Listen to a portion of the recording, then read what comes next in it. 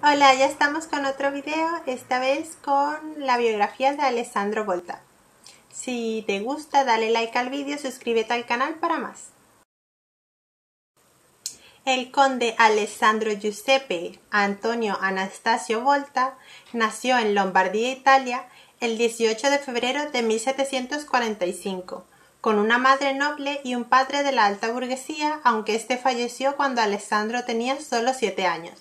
Desde temprana edad siempre mostró una pasión por la física, aunque su familia deseaba que estudiase una carrera jurídica. A los 18 años realizaba experimentos eléctricos y mantenía correspondencia con investigadores eléctricos europeos. Su primer artículo se tituló Sobre la fuerza atractiva del fuego eléctrico en 1769 y en 1773 contrajo matrimonio con Teresa Peregrini, con la cual tuvo tres hijos, Giovanni, Flaminio y Sanino.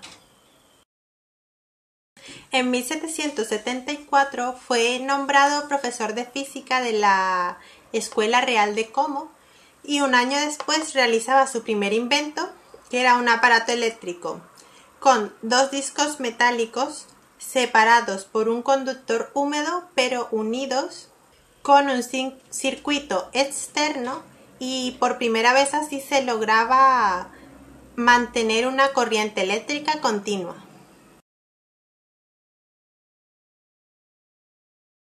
Entre 1776 y 1778 se dedicó a la química, descubriendo y aislando el gas metano. En 1779 fue nombrado profesor titular de la Cátedra de Física Experimental de la Universidad de Pavía, donde trabajaría hasta su jubilación en 1819.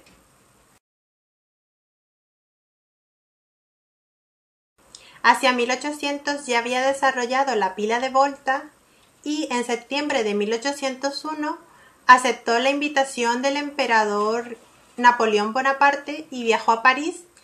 Ahí sería nombrado conde por Napoleón en el campo de la electricidad.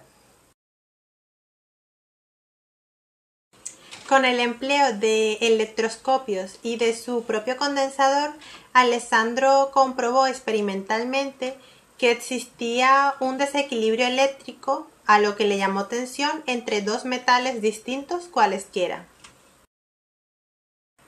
Napoleón, además de nombrarle conde, también le nombró senador del reino de Lombardía y le dio la medalla de oro al mérito si el emperador de Austria lo designó como director de la Facultad de Filosofía de la Universidad de Padua en 1815.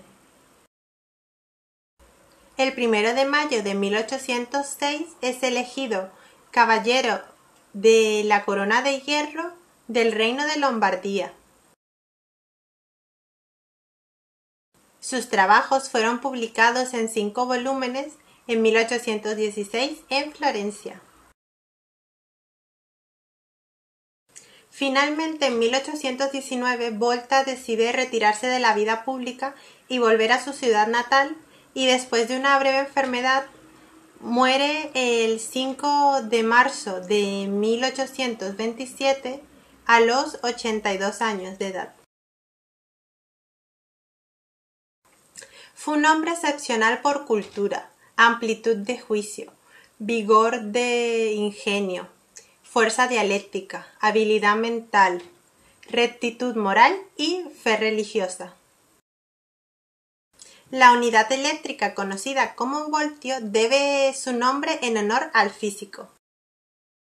La imagen de Volta aparece en billetes de la Europa comunitaria en un billete de 10.000 liras.